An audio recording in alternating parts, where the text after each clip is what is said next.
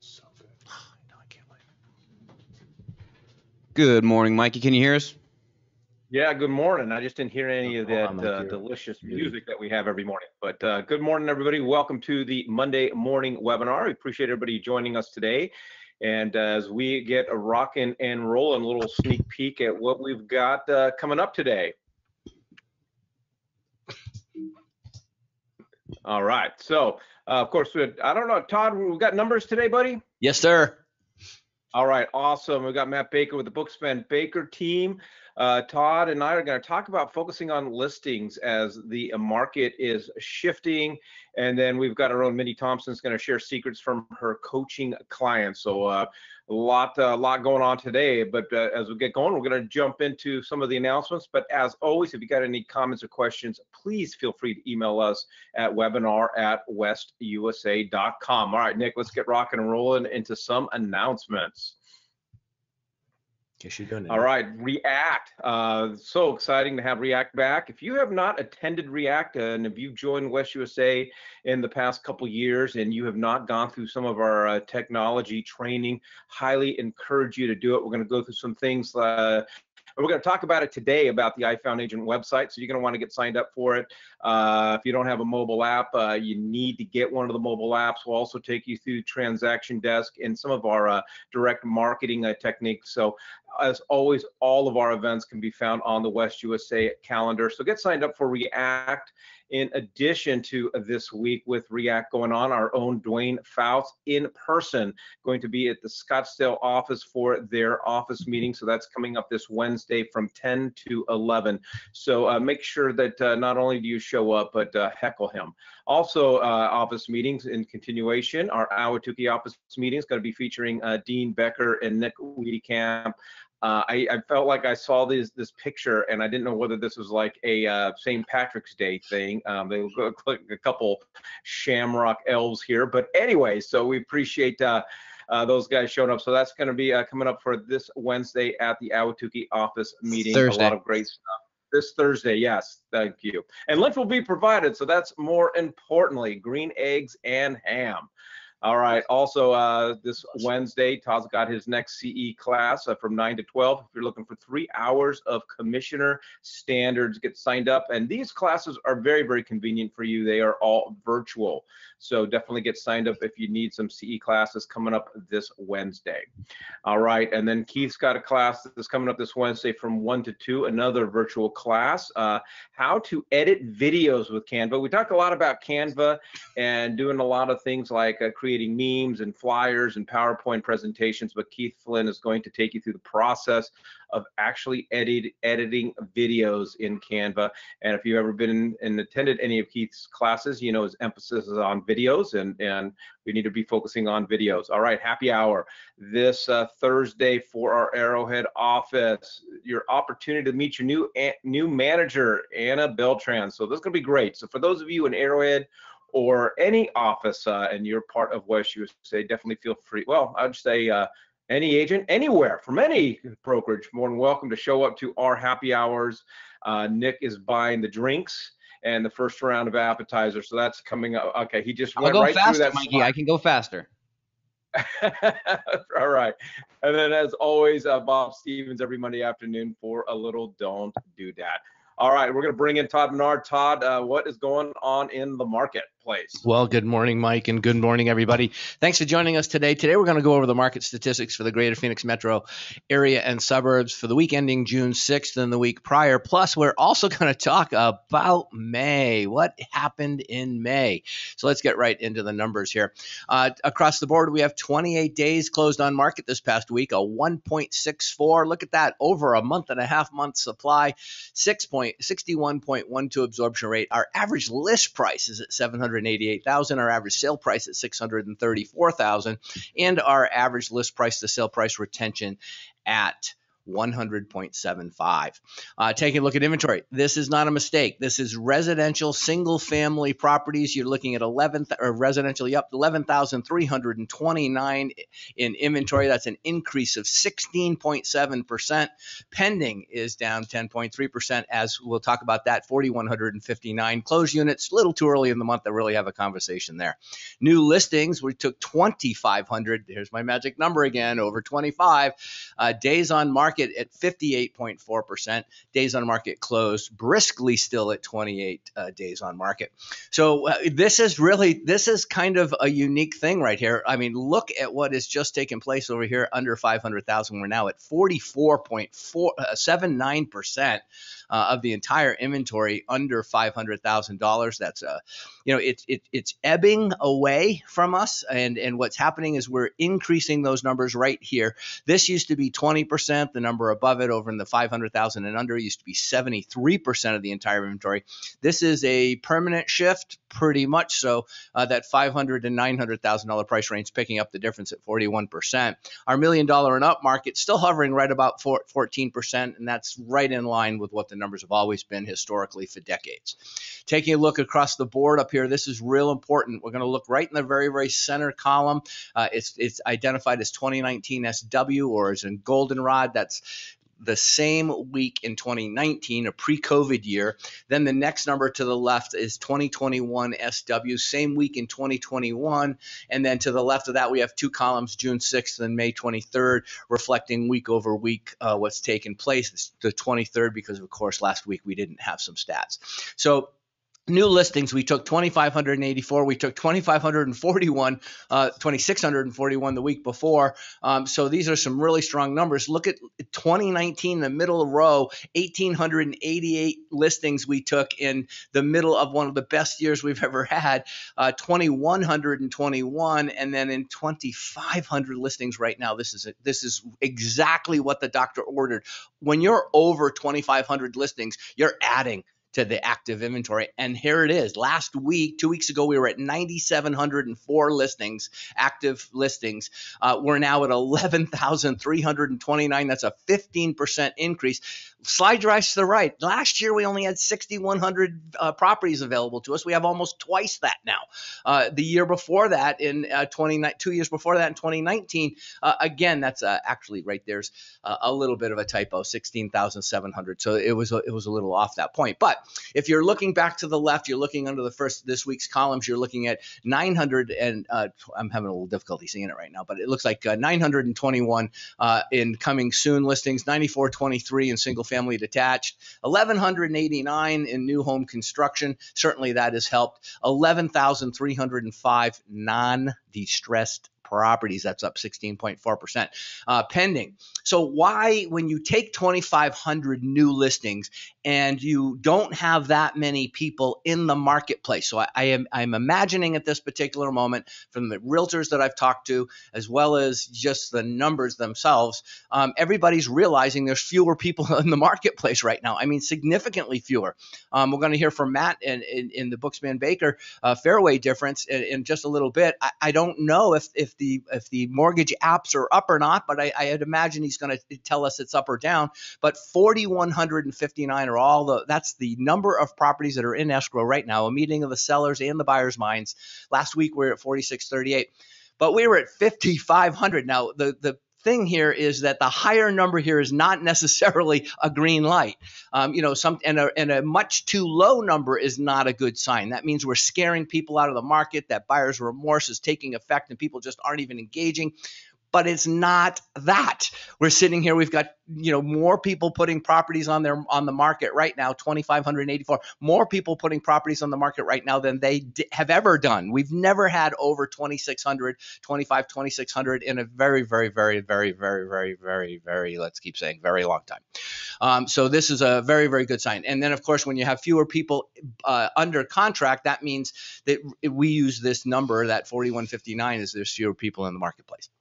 So now we have a 1.6 month supply uh, up from 1.2, uh, double what we had for a month, almost three times what we had for a month supply uh, last year. Looking at average sale price of 788, that was a little bit of a cooling off this past week from 806 the week before. Uh, and again, remember this is all the properties that the properties that have just been added to the marketplace, eh, plus the properties that are there now. What is the average? And we're sitting at 788. Average sale price is sitting at 400, uh, 633,000, 634. And again, that is falling within that four to eight percent we were talking about at the beginning of the year. We were uh, anticipating an eight percent appreciation in, the, in Arizona right now. Remember, this isn't appreciation but this kind of gives you an, an, idea on what's selling at what price, and if it continues to do that, which is what we're anticipating, we're not going to see, uh, you know, really any slowdown from that perspective. That's a, again a very good sign, and and it's just saying that the lid is not off the jar. You know, these properties are uh, even though they're higher priced, uh, we don't anticipate seeing them be there being any reduction in pricing. Um, so this is just going to remain constant. List price, sale price retention down again, down to 100.75. Again, a nice number below that of last year. But again, we are trying to get under 100% from that number.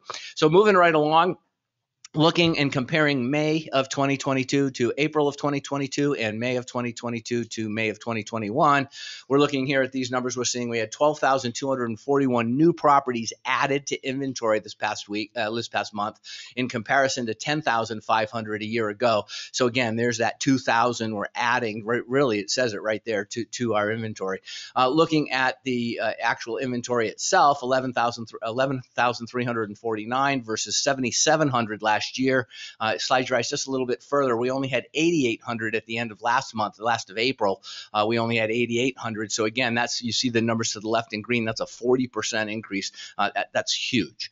Um, taking a look at people in the marketplace, pending units, 6,132 average pending units at any one time throughout the month, 9,900, which is what it was in 2021. So again, we're 3,000 fewer people in the marketplace, which is help was helping us add to that inventory inventory base because if you're not consuming it, that absorption, you're not eating it up, um, then it's going to continue to increase. And this is a very good sign. We finished the month with 8,759 closed units in comparison to 9,600 the year before. So we're not exceeding the closings anymore. Uh, and we haven't been really since about August of last year. We've been uh, down anywhere from 3 to 10%. Uh, this again stays right within that, that ballpark there. Very comfortable. It's not a crisis for you guys as, as unit count goes down and sale prices in, continue to increase, your compensation, if that's what you're worried about, doesn't change. Uh, if you're a unit person that you're interested in just the numbers of closings, then that's a different story taking a look at the uh, phantom short phantom uh, default inventory uh, there isn't any uh, again uh, very very small less than 0.3 percent of less than 0.3 of 1 percent uh, is really makes it non-existent. List the the month supply was at 1.3 0.8 so we've got again almost twice the month supply because we're slowing down month supply is how many people are consuming it versus how much inventory is there and how long can we survive without adding any inventory. That's what those numbers mean. And so basically, we're in really good shape from that perspective. Uh, every, again, if people are worried about, you know, there being, uh, well, here's the one thing we should know right now we need to get off of recommending to people that they pay more than the comp value right now because the market has stalled. This was great a year ago in 2020, 2021. You could justify, you know, potentially because of Californians, not because the market was demanding more money. You and I, as realtors, helped push that, um, helped educate people that they needed to pay above. But if it had been organic, I don't think there would have been that much of an increase uh, as, as much anyway. In this particular section uh, portion, what I'm saying is that the sale prices are not going up as high as they were. We're 10% off the pressure that was here before. So if you're ta- if there's fewer people in the marketplace and there's more product on the market, that does mean we're sliding more up into a neutral, more neutral market. We're We're going to continue to see this trend all through the summer uh, and and basically through into the new year. Now, one of the things that we're waiting for the numbers to come out is is when we finished the second quarter and we move into July. One of the things we're going to have to look at is are we in a recession? What's the definition of a recession? Two quarters in a row of of contraction of negative of numbers that were less as good as the prior month. Um, and so as a result, we could be. Uh, but again, we're not going to see discounts in prices. We're not going to see really slowing down greatly in any more than it's already slowing down as far as unit counts concerned. Look, talk to any of the economists that you're looking at out there. Um, you know, really, this is going to be a different type of recession if, in fact, we do end up going into one uh, at the end of this month. Taking a look at the days on market. Again, very, very stable, still pretty brisk when that right, right house comes on the market. Um, and then again, our list price to sale price retention, we ended last month at 101.8. Again, that was the same as the month prior. That shows again a little stability in the marketplace. Um, I got nothing really negative to say, but let me show you these last three pieces. Um, and this will recap where we're at so far year to date. Um, so looking at inventory 2022 to 2021 from January on the right to May on the left, what I want you to see is the difference in the two lines. The red line represents 2021, the blue line represents 2022. As you can see in May, the inventory took off. Uh, we that's where you see that huge spread right there. But you compare that now to the pending, the people that are in the marketplace. Well, the red line represents 2021, the average number of pending units at any point in time, and the red line represent, uh, excuse me, the blue line represents 2022. There's significantly almost, and these lines are very very similar, uh, parallel almost. If you look at the numbers to the left, there's almost 3,800 different uh, fewer people in the marketplace. That's almost, let's just call it what it is 4,000 fewer people in the marketplace today than there was a year ago. So you, you got your inventory that's expanding, you've got your, uh, your pending, which is contracting, and now you look at your closings. And again, same representation red is 2021, blue is 2022. So you can see May in the months it goes from the beginning of the year at the right to the current to the left. So you're looking at May, look at the difference. The lines are separating. Uh, and again, we we still have some fewer. We were pretty much on track with 2021 through the first three uh, first quarter, but now we're seeing it recede. What does it all mean? It basically all means we're an exceptionally stable real estate market. It means that there are more people putting their homes on the market today for sale than there has ever been in the recordation of ARMLS. Look back, um, and that there's fewer people in the marketplace than we were used to a year ago. So we need to start shifting our minds to the point where people don't have to pay balloon money, blue sky money to own a property today. Uh, it is shifting right now right underneath our, our, our fingers. So that's the numbers for the week. Um, these are the different places that you can uh, find us. And uh, if you have any other questions, please don't hesitate to uh, give me a holler and uh, let me know. I'd be happy to help. I appreciate it, Todd. And we're going to bring in uh, Matt Baker into the conversation. What's going on with the uh, the mortgage rates, Matt? Did you magically make them drop back down to 2.75? I'm hoping Absolutely so. Absolutely not. Um, but let's talk about you know just some stability. Uh, and and I think you know the fact that we've kind of gone sideways in rates for the better part of a month, three weeks or so, has really helped. Uh, and and part of it is you know you could say well is that you know the Fed raising rates and and well part of it is built into that and part of it is just trying to sort of at some point you have to sort of find a floor like are we are we at that or not you know is a big question but one of the things that, that Todd talked about was you know our mortgage applications down and you know if you look at the national news and the MBA and all of those kind of statistics yes you know mortgage you know most a purchase loan application because they track both purchase and refinance loan applications. The refinances are off you know 80% yeah.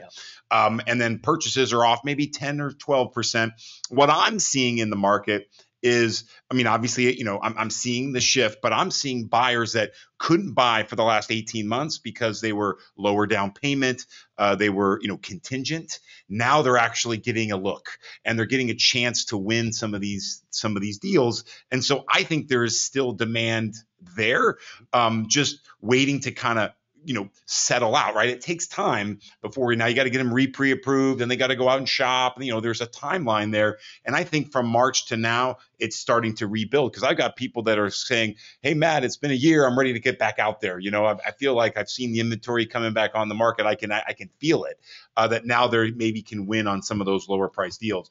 But let's talk about lending standards because this is another thing that that just floors me because you know when you think about supply and demand and the real estate side you know think about it from the mortgage side.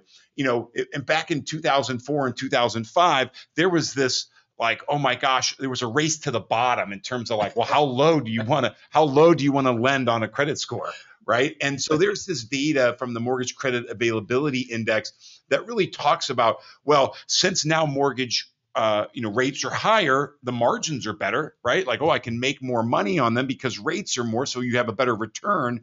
Well does that mean that you're going to start adding all this uh, additional invent you know this additional lending guidelines to the table? Meaning no docs and lower credit score and all of those things. And and look at where we are from a mortgage credit availability perspective. I mean we're we're lower than we were even in parts of 13, 14. I mean, look at that. Like we're at, at a pretty stable, consistent place. So we're not having the, you know, so I don't think there's just going to be a rush to like, well, how, you know, how aggressive can we lend? Number one. And then look at the credit score look at the credit scores under 620. Now, part of this is is as a consumer, we become a lot more aware of where credit scores fall, but you also just can't get loans, or if you do, the interest rates on them are significantly higher. Your mortgage insurance premiums are so high that it almost prices you out. But look at where we are. We're not like look at quarter one of 2022. We're not just just all of a sudden going, well, let's start lending at 580 and let's start lending at 550 and like trying to increase because obviously from a mortgage perspective, if we're having less applications, that means less profit. And therefore we're like okay well how are we going to do that? Are we going to just just ride this out? Are we going to expand loan products so that we can increase the increase the you know the application count? And just it's not happening right? We're sticking with you know, with the credit, you know, sort of box that we have, which is typically 620 or better. And and you know, in turn, you're not going to see a rush to the bottom in terms of like the the lending guideline perspective, the 550s, the NINAs, the no docs, all that kind of stuff. So just a little bit different perspective to kind of add to the like this isn't this isn't 08, this isn't 07. And, and a recession, as Todd mentioned, is not necessarily a bad thing. If anything, in the real estate side, it's actually Helps. creating some That's stability, right? right? It's yeah. you know it's creating some um, some stable growth, which is which is probably needed. So that's what I got for the day. Uh, any questions? Oh, I did want to add one thing. You know, uh, the Booksman Baker team and and Todd Booksman are, are part of the the mortgage uh, modern mortgage real estate summit and there is um, uh, if you would like to go you can google it but i have the code to offer you a, a chance to to kind of listen to some of these uh, both real estate and mortgage lenders speak on uh, on the industry, on different tips and tricks. It's a really an amazing lineup. Um, so if you want, I can um, if you if you email me or text me, I can send you the link. So um, I'll have my cell phone go into the chat so that you can do uh, do that. But it's the Modern Mortgage and Real Estate Summit starts Wednesday, but this code allows you like 30 day access to the content. Nice. That's what I got. I appreciate it.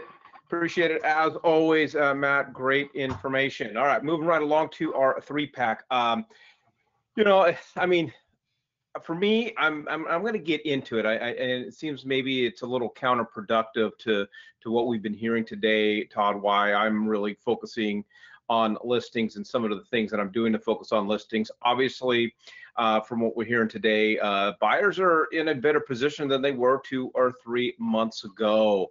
However, I think there is a, as we're seeing, there is a uptick in the amount of uh, properties that are going on the market. So I think it provides a great opportunity. So point number one on focusing on listings is really uh, focus on listings. Uh, understand this is where that you should shift your focus. Again, we are seeing an uptick in listings.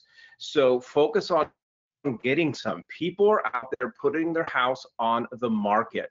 Uh, and I thought, I think, you know, I'm, i think you would agree with me that we're expecting to see the number of available listings to continue to increase mm-hmm. over the next couple months. Correct. And we've always preached uh, listings are king. This is where you want to be. You want to get your hands on listings.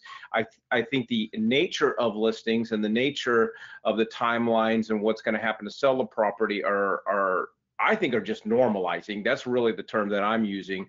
But I, I find that sellers are making more of an, a desperate attempt right now to cash in Uh, and I don't anticipate uh, a market crash, but there is a perception that there is something impending, something looming that is coming uh, that's going to be uh, somewhat devastating to the market. So we're finding that sellers, I think, are, are on a mad dash to get their house on the market, Todd, and and try to cash in before before something bad that they think is going to happen happens, which we're not anticipating. But there's some opportunity there. Yeah, absolutely. And I think this is really time, Mike, uh, to your point, uh, because there is a shift now. Whether the shift is going to, you know, continue to Mike's point, you know, it is still you know a strategy to get your client approved. However there's a little more inventory there's fewer people competing mortgage rates are still you know although they're higher they're you know i mean i was just having a conversation with somebody the other day and they're, and i they said uh, you know oh my gosh i can't believe this is so damaging to the industry and damaging to life and you know all this and I, and I sat back and i thought for a minute i'm like no you know 6% uh, you know is good. And if you can be under 6% that's great. You know sure okay to, to, we've all missed markets right, Mike? I mean, we've all been involved in markets where if we had money or we or we'd seen some certain things, hindsight's 2020, we we'd probably own 20 or 30 houses a piece now.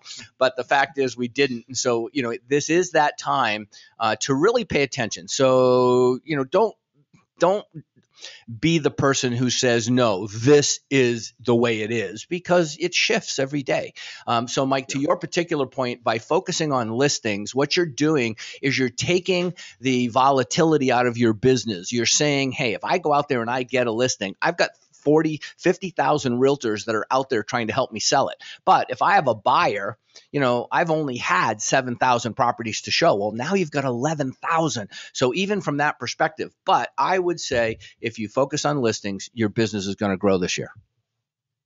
All right. Um, and I think, I mean, I'm using the terms like I mentioned, I feel like the market, the market's just normalizing. I mean, you can call it a shift. It, it's just getting back to the way things used to be uh, rather than it it deteriorating or whether it's going downhill. You know what we've experienced over the last three years was just out of control and an anomaly. And and for me, it's just and, and that's the term that I'm using for my clients is the market is simply just becoming uh, normal. So understand this is where you should shift your focus. Point number two to focusing on listings, Nick, as we uh, move along is is one of the things that I'm doing. And that's what I promise. The things that I'm doing is I am really double downing on these neighborhood reports. Uh, I am not a, and I'm not judging anyone. Um, I'm not a newsletter guy. Um, there's a lot of things that agents are using and that are sending to people that I'm just, I just don't focus on and I just don't do because at the end of the day, I'm wanting to provide people in my sphere of influence and the people that I'm connected with with some of with the greatest things of value that I that I can come up with. And the neighborhood reports I think are it. It provides something of value. It keeps them updated to what exactly is going on in their neighborhood. Uh, it lets them know when there's new listings. It lets them know when there's new closings in their neighborhood. And it's a fantastic uh, way to stay connected and you know you can use the MLS and you know I mean and and if people are, are aren't clear on what a neighborhood report is it's really the exact same thing as setting up a search uh, if you're helping a buyer but you're just setting it up for someone who bought a home from you or in a specific neighborhood and you're keeping them updated. I'm a huge fan of our iFound Agent uh, websites and the premium versions of it. Uh, when I'm setting and I'm setting anybody and everybody up on these reports and the system lets me know when people are opening up the reports, when people are visiting the websites, when people are saving searches, they, and it lets me know who's interested in what's going on in their neighborhood and track activity and pick up the phone and have real estate conversations with these people, Todd. You know, Mike, uh, this is so important because this is exactly the problem or the re, or the reason why NAR's annual report, the home buyer home seller report, always shows that buyers, after having worked with a realtor, are always willing to use their realtor again, but down the road don't. To your point, it only, eh, let me let me ask someone that's eh, eh, ask us all that's out there right now. Have you ever received anything a drip on a regular basis from any particular place that you know realistically it didn't matter I mean, you know, it, you get stuff, but I mean, did it was it really the caliber of information you wanted? Um, you know, was it did it did it really? Uh, so, in other words, if you want to control the, where the consumer goes, and you have your own iFound website, and then you use this strategy Mike's uh, providing right now, what's going to happen is when those people go to check that, it takes them back to your personal site. Doesn't take them back to Zillow. Doesn't take them back to ARMLS. Doesn't take them. It takes them, and you can continue to uh, to receive reports on on what that activity is and then and then tweak it. But to Mike's point, um, you know, I want to have a relationship with somebody where when I want the information, I can pick up the phone, have a conversation with somebody, and not feel like I'm a stranger. So there's a delicate balance between me feeling comfortable and confident that I can pick up the phone and call Mike Weinstein, and Mike's going to pick up the phone and provide me with the caliber of information that I'm looking for, versus you send, you know what? I mean, I love recipes. I do all the cooking myself. I mean, I like the holidays. I love all these things there's an element of warm and fuzzy that just is BS. And to be quite honest with you, get focused and and do things that you can hold accountable to getting you the results you're looking for. Hey Nick, if I wanted to learn more about the iFound Agent websites, where would I go? Yeah, right. You go to westusawebsite.com where you can sign up for React and uh, pop on over tomorrow and learn all about the iFound West websites. All right. All right. And pick up the phone and call before they do your the, your people in your sphere of influence, your past clients, your present clients, anybody and everybody that owns a home are getting calls from iBuyers and investors. They are getting calls. And we you you can't be silent. You've got to be part of that noise in their mouth. You got to be or in their ears. You got to be a you got to be a voice. Um, i'm dealing with a guy right now um, he's just, you know, I'm dealing with. He's got a call from, from an investor, and um, and I'm trying to show him that you're going to make more money, or you stand to make more money if you put your house on the open market as opposed to going with an investor. And this is the battle. So the people in your sphere of influence, your family members, they are getting calls and you have to understand that. So you have to pick up the phone. You've got to start calling past and present clients. You got to start and calling everybody in your sphere of influence, everybody in your database, but know the market, know your numbers and know to handle objections know how know what's on their minds and be able and be in a position to have deeper conversations with them because uh, those others, like I said, they're cash investors, Todd. They are still calling. Yes, they're calling, calling, they're calling, and you've got to know when your client or somebody in your sphere of influence is getting a call from a cash investor, what is tempting them? Because that is the objection that you have to overcome. You know, I used to say, Mike, you know, years ago when you and I were doing a lot of new home construction uh, uh, investing, meaning we were working with buyers that were interested in purchasing uh, new homes as an investment. Um, you know, it, the the big thing really was was control and and help, and and so we, we would tell people, listen, if you get an offer from someone on your property and you think you're you're even thinking that you might even consider taking it, call me. I can get you an estimate a settlement sheet from my escrow officer um, that I have and and show you a, a really good approximation of what your net proceeds will be. Uh, because and then i can also bring them into and, and update them on what you and i all know about the ibuyer market that realistically they're somewhere between 15 to 27 percent behind today's market value. Uh, and and that happens because they and they they they they implement those strategies upon a an unsuspecting seller during the escrow period, and so you know these are some of the uh, some of the things that, uh, that that we really need to know if we're when we're counseling people. But uh, pick up the phone and talk to people. There's nothing there's nothing you can send them that builds a relationship or builds rapport as well as you on the other end of the telephone, um, and and you don't have to call them all the time. You must have a friend out there. I know you do. Somebody must have a friend. No, I know you've got a friend out there where when somebody calls you, it's you pick up the phone, you haven't talked to them in a year, and it's just like you talked yesterday, right?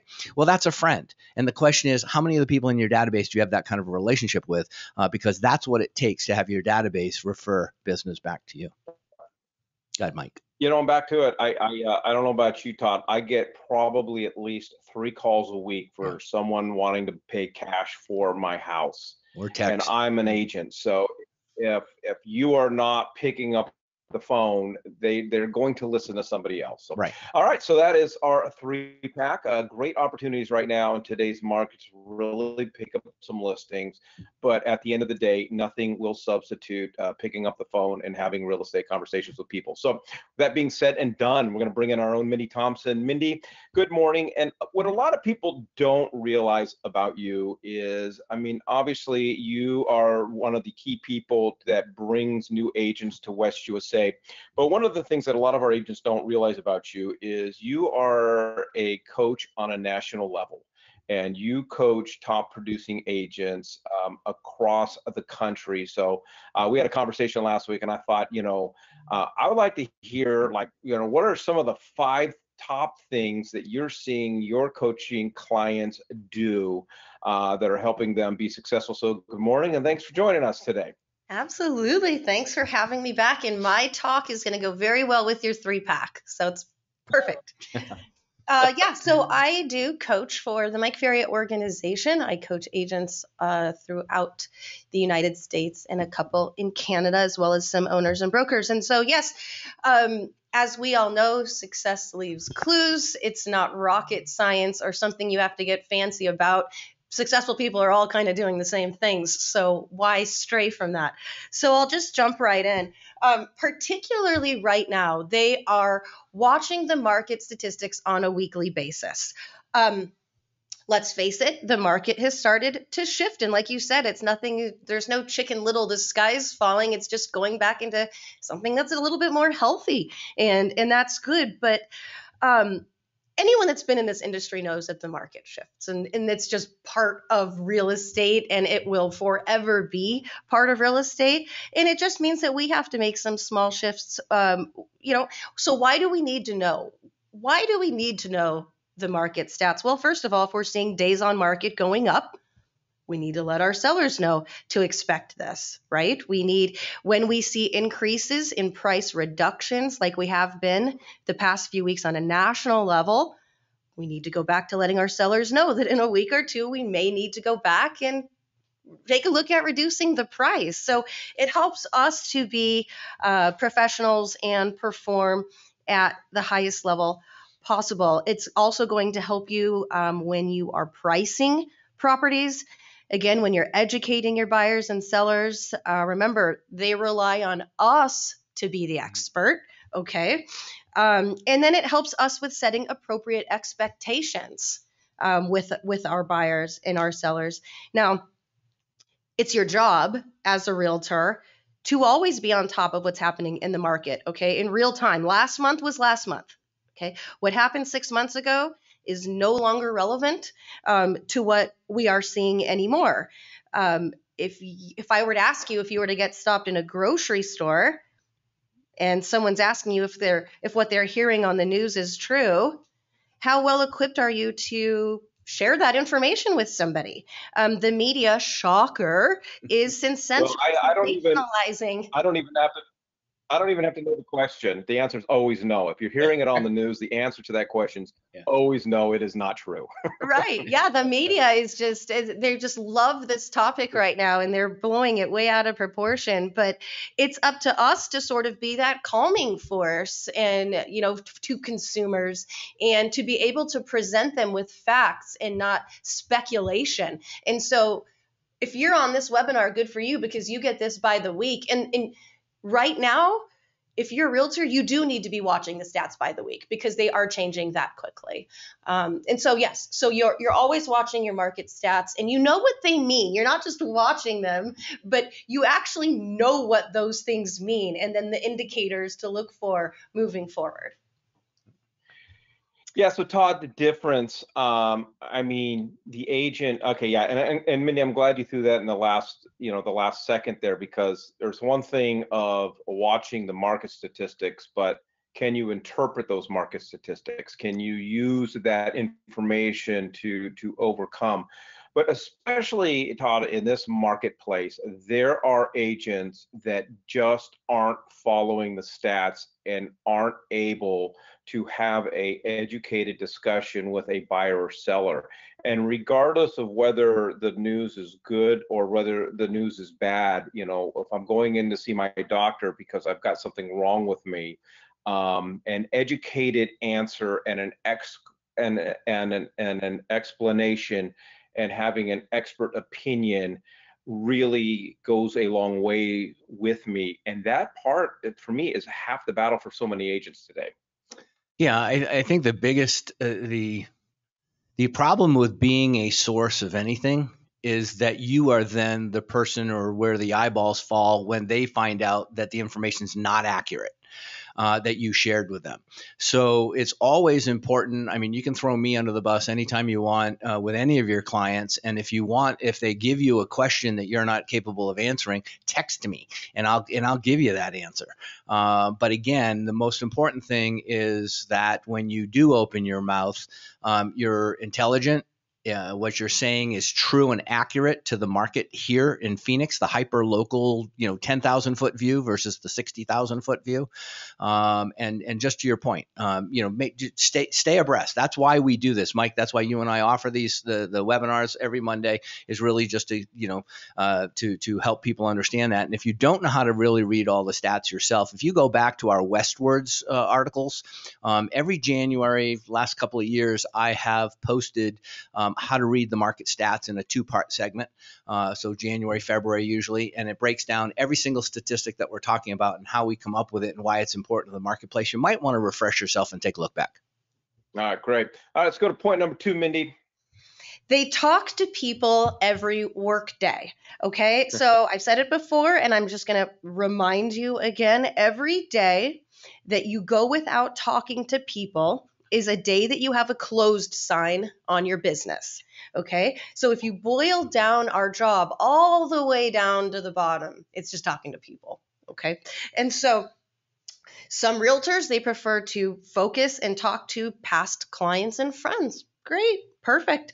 Some like to talk to groups of people who have already put their hand in the air and said, I want to sell my home. Who are they? They're expired listings. They're for sale by owners. Okay, they're not cold calls. They're calls to people who have outwardly expressed interest in selling. Those two sources, expired listing and for sale by owner, they will always convert at the highest rate. Okay, because it's much different than opening your phone book and dialing down a bunch of numbers and hoping someone wants to sell. You can call those two groups people who've already said they wanted to. So um, you can talk to people around your current listings. Okay, there is a phenomenon in real estate you might not know about. Usually, when a home goes up for sale, one or two around it go up shortly thereafter. Okay, it's a mini pet peeve of mine to drive down a block where there are four sale signs, like three or four different brokerages, because here's what that means to me. If Mike took a listing on that block and he spent an hour door knocking the neighbors around and introducing himself, mm-hmm. Mike could have three signs on that block. Yep. And the, the other thing about door knocking, and it gets a bad rap, and I and I know it does, but I want you to know that it still does work. Mm-hmm. And fun fact, um, knocking on doors virtually eliminates your competition. Your competition will refuse to do it. Um, so it puts you in a completely different class. If you're a newer agent, if you're struggling with maybe people who are more experienced than you, this is still something that you can do that actually still does work. Uh, excuse me. Um, talking to your past clients, friends, and family on a consistent basis about real estate will also yield you pretty high results. Those calls convert at the third highest rate after expired in FSBO. Okay.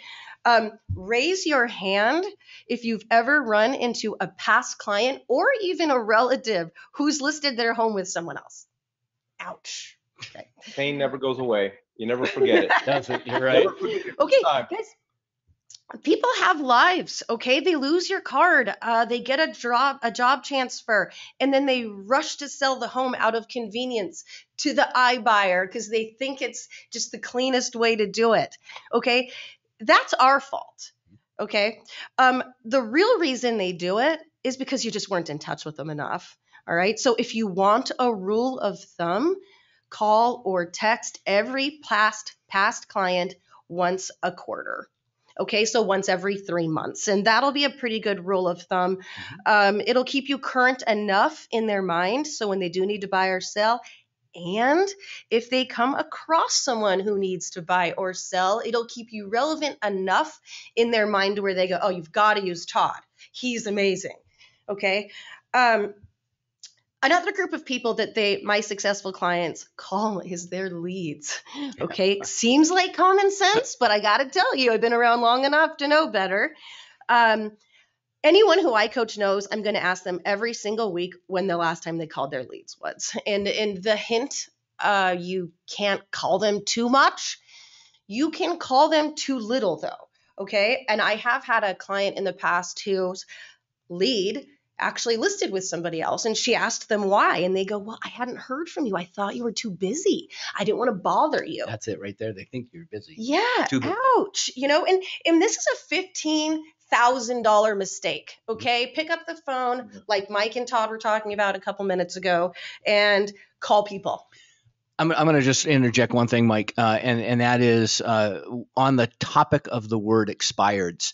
Um, so there's a thing going around the industry right now that I've got to just quickly let everybody know. And what it is is you are not allowed to call another broker's expired listings unless you have washed their phone number through the do not call list.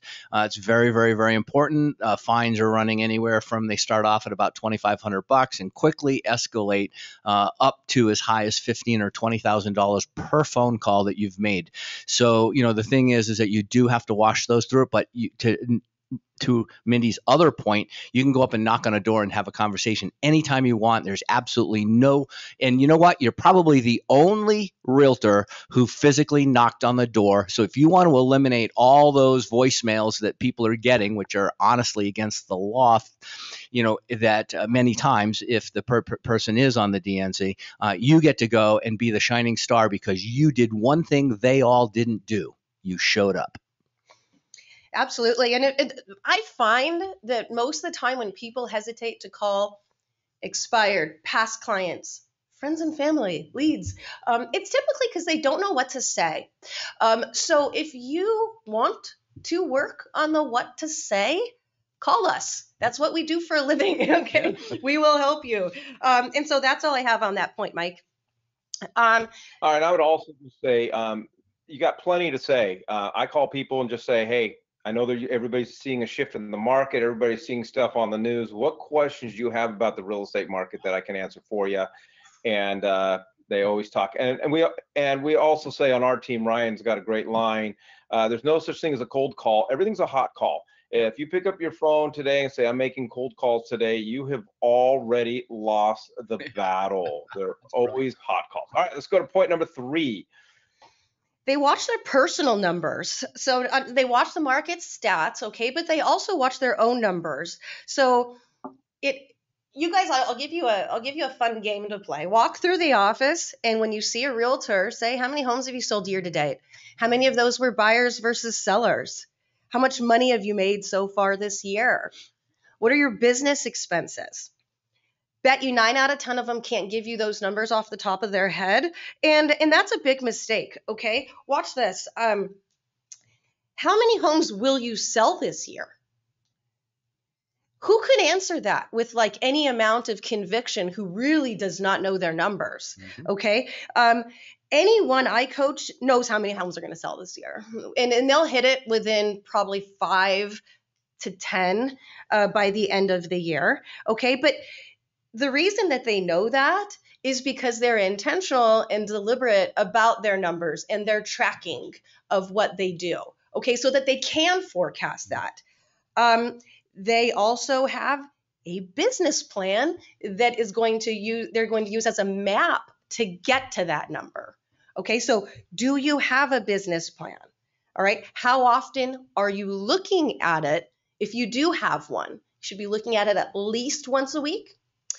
Um, If you do not have one, that's okay. It's not too late. It's never too late in the year to write one. And uh, it doesn't cost anything. So, a West USA coach, if you'd like, will sit down with you and go, hey, where do you need to do this year? Well, let's get a plan in place to help you get there. And there's no fee for that. Okay. So if you don't have one and you're not sure what your numbers are, or watch this, if you don't have a goal for this year, please call us right away because we'll help you with that. Okay. If you don't have systems would- in place this year to hit your Yeah. goals, please call us. Yeah. And the, the other thing I would just uh, comment on this is, you know, one of the biggest components of a business plan is the action plan behind it. What are the things? And and going back to our previous conversation, Mindy, um, you can't substitute real estate conversations. You can't substitute picking up the phone and calling people. This is a relationship-based business. If you want, if you put together your business plan, you have set your goals, you've got to understand that that means you've got to have X amount of real estate conversations. And, and I always teach our team, when I take a look at my pipeline, my pipeline's always a direct reflection of my phone activity or the number of real estate conversations that I'm having. And I know when I look at my pipeline, I'm like, oh boy, my wife's going to be really upset. I can look back and say, I haven't been working the phones or I haven't been out having real estate conversations.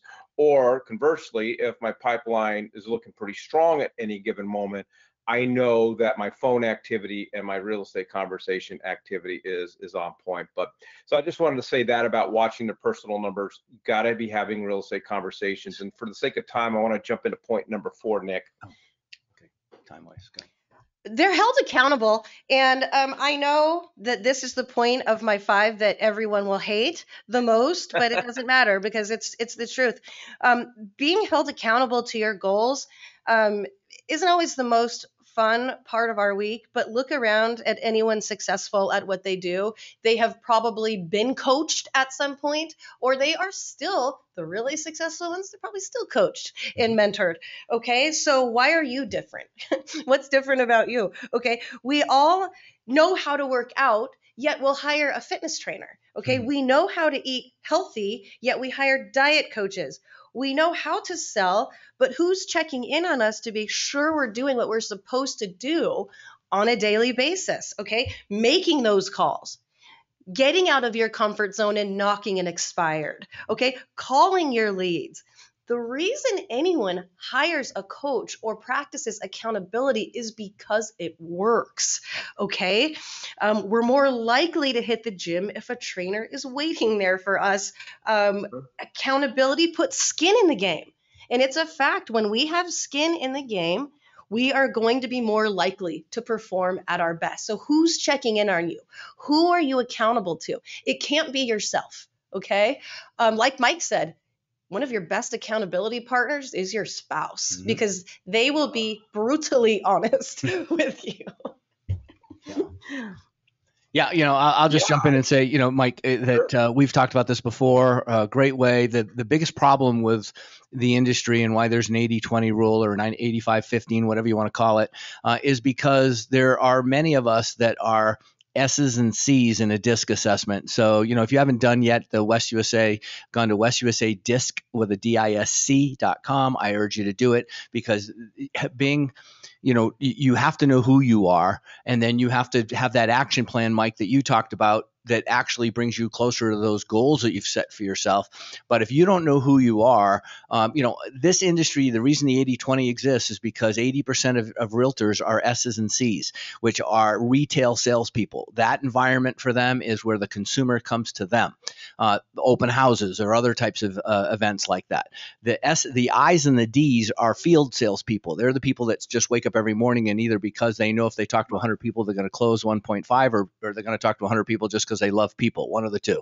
Uh, but again, you have to know yourself and you have to be willing to be accountable, and that takes us into the next com- uh, the next section. Well, and I would also, I, I would, I'd like to maybe expound upon a little bit more. Um, I mean, really, who we are. You can you can talk about disc all you want. Who we are are people, and as people, uh, we tend to take the path of least resistance. Mhm. And that means, and when we don't have accountability, that means the path of least resistance is, you know, I don't have to do what I'm going, uh, what I'm supposed to be doing. And so, uh, you know, I'd like to bring Nick in the conversation. I mean, we've got some great platforms here at West USA, whether it's the coaching program or teams or finding another accountability partner. I mean, it, it's critical, but it's up to each one of us to, to figure out who's going to hold us accountable but there are platforms that are our options, Nick, here at West USA. Yeah, I mean, I mean, everyone's talked about it this morning. There's a lot of different avenues for getting into coaching, having someone hold you accountable. It doesn't have to be an official capacity, like Mindy mentioned. It can be a friend, a spouse, a loved one. But the teams and the coach program that we have at West USA are there to help. Uh, we have seen a lot of agents who can fast forward their careers by talking to a coach one time, mm-hmm. um, getting on a team and joining that culture program. Uh, and as we also have our inbound sales, there's a lot of multitude of things that you can do. If you're not sure where to start, just have a conversation with your branch manager, with another agent in one of the offices, uh, and they can try to point you in the right direction. Absolutely. Yeah, and also say um, start with Mindy. We've got her email and phone number up here, and uh, she definitely can point you in the right direction. Very, very fluent in our teams here at West USA and our coaching department, and definitely can uh, can give you some tips. All right, let's jump into the last one. They are continuous, continuously working on developing their skills. Um, you never arrive. Okay. So you might look around and you see these really fancy schmancy real estate agents and you go, man, they've arrived. Well, they haven't. Um, chances are, progress. yeah, chances are they are still sharpening their skills all the time. So you're never going to know it all. And then even when you think you do know it all, the market's going to shift and you're back learning again. Okay. So just accept the fact that you're, you're going to be a work in progress. I want to give kudos for anyone listening here because you are the type of person who wants to continue to grow. Okay. You listen to webinars, you listen to podcasts, you stay educated on the market stats on a weekly basis. So good for you. Okay. If I were to ask you to walk into a listing appointment with a seller that you do not know, and you know you're going to be competing against three other agents, how confident are you? How confident are you walking in? And then how confident are you when you walk out? And if the answer is, I'm not sure, well, then you got some practicing to do, and that's okay, right? When's the last time someone listened to your presentation and mm-hmm. gave you feedback? Like, look, you've got Todd Menard here, you've got Mike Weinstein, you've got some of the most successful real estate agents who can sit down with you for no charge and go, hey, let me tell you where you could tweak that, you know, and, and get a little bit better feedback isn't always pleasant, but it will always make you better. Okay. Okay. I want to jump in. Yeah. Um, I'm sorry. I, you know, because we're running out of time, so I want to, and, and I'll let Todd, Nick, anyone jump in. I mean, we can say, uh, what are some of the skill levels or the skills right now that we should be focusing on? You know, when we're taking a look at the market shifts, you're taking a look at um, you know the that you're coaching around around the country um, what are some of those skills that people are really trying to hone in on right now? Presentation skills always always buyer presentation seller presentation always. Uh, pricing skills always going to be one of the most highly skilled things that we do in this industry. Um, talking to people and handling objections. So when Todd goes, Hey, I'm really afraid to sell my house right now, Mindy, um, I'm afraid I'm not going to be able to find a property to buy. Well, what are, look, we get the same things over and over and over. Right. May as well learn a really good answer to those things. Okay. Um, and so yeah, so that's what that's what I would I would I would say practice practice your skills. And if you're not sure, if you're going into a listing presentation, sit down and practice it out loud two or three times before you go in. Actors do it, uh, baseball players do it. That's practice, right? Repetitions and all that. Why do we think we're different? We're not. Um, so yeah, so that's that's what I do, and I'd ask for feedback. I'd search for it um, because it's going to make you better every time. Yeah, I, I would just say that uh, remember that you'll never have every answer to every question.